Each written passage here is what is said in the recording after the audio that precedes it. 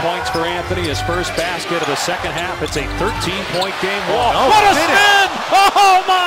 Oh. John Wall with an incredible hang and score. Oh, wow. This guy with the basketball, first of all, beautiful split of the screen and roll, and then the spin to avoid Jason Smith. Oh, my goodness. And John.